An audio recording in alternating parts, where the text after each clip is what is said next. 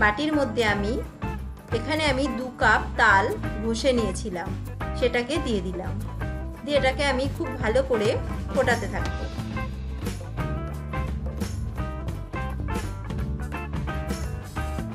খুব ভালো করে এটাকে আমি জাল দিতে থাকব।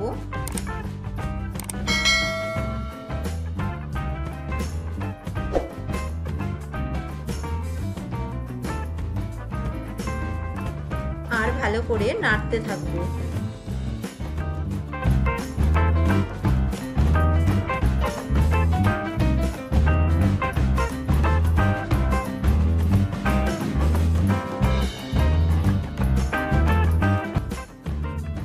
এবার আমি এর মধ্যে দিলাম দু কাপ এখানে তালের ক্ষীর নিয়েছিলাম কাপ চিনি দিয়ে দিলাম।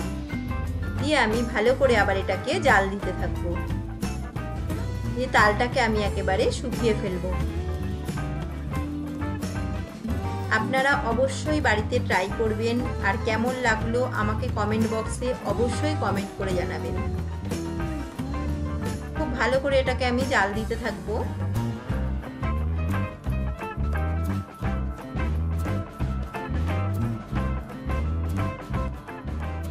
জাল দিতে দিতে আমি তালটাকে একেবারে শুকিয়ে ফেলব।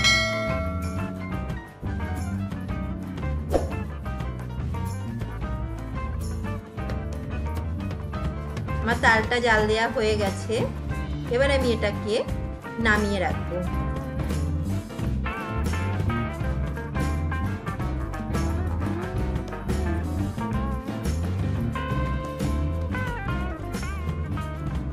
এবার আমি একটা পাত্রের মধ্যে এখানে আমি দুধ নেব। আমি এখানে পাঁচশো গ্রাম দুধ নিয়েছি।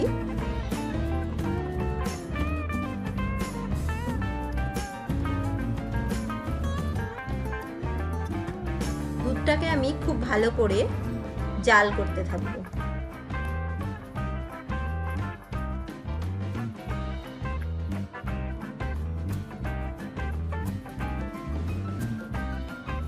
এবার আমি এর মধ্যে দেব চারটে এলাচ। আমি আস্তে করে ফাটিয়ে নিয়েছি। এলাচটাকে দিয়ে দিলাম।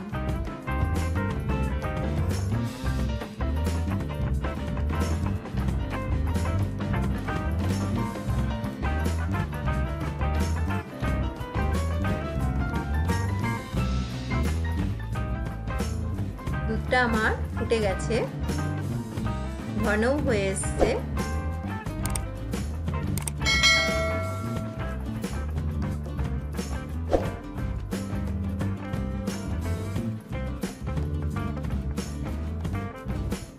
এবার আমি গোবিন্দভোগ চালটা দশ মিনিট আগে আমি ভিজিয়ে রেখেছিলাম।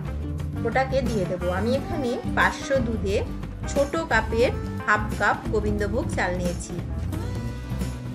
এটাকে আমি পনেরো মিনিট ধরে ভিজিয়ে রেখেছিলাম।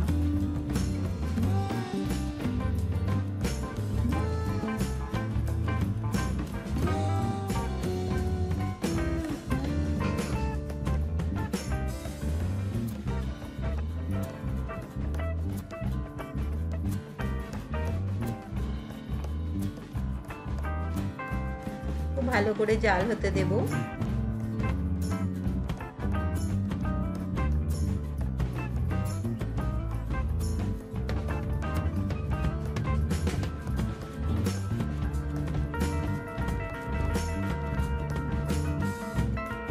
এবার আমি ওর মধ্যে দিলাম একটা তেজপাতা।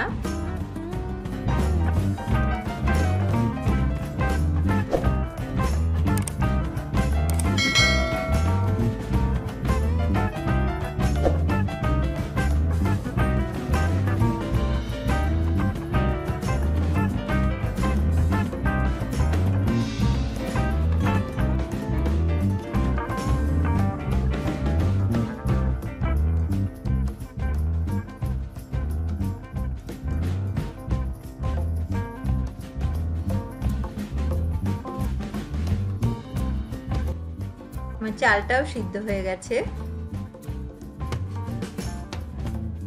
দেখাই যাচ্ছে। এবার আমি যে তালটাকে জাল দিয়ে রেখেছিলাম, ওই তালটা আমি অল্প অল্প করে এর মধ্যে দেব আর দিয়ে নাড়াতে থাকব।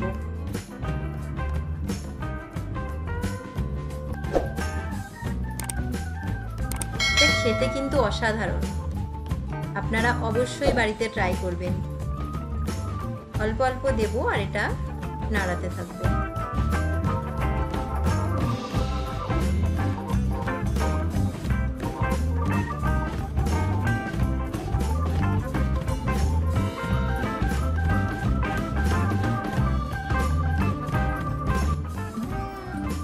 আমার তালটাকে পুরো দেয়া হয়ে গেছে, এবার আমি এটাকে ভালো করে মিক্সড করে নেব। আমার রেডি হয়ে গেছে তালের পায়েস।